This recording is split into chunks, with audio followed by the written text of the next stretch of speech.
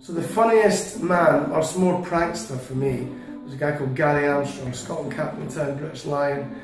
And before um, Five Nations or Six Nations games, we would actually go into Jim's room. When I say we, me and Doddie Weir just went in to help him out, nothing else. It was all Gary Armstrong.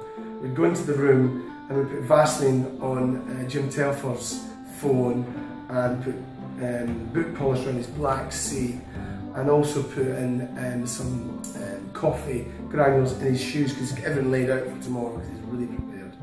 And Jim didn't really like, uh, he wasn't, he liked to joke, liked to laugh, but we used to then wait till he came home at night and phone him up. We're on the team room and he goes, ah, Jesus Christ, Gary, because Gary would phone him because you know, never expect Gary to put any Vaseline on his phone. You're like, Jesus Christ, Gary, somebody's put Vaseline on my phone. And the next morning, um, we'd be at the game, and then after the game, we'd see Jim this big black ring around his ass. So, Gary Armstrong, it was him. It's official. It was never me, Jim. It was Gary.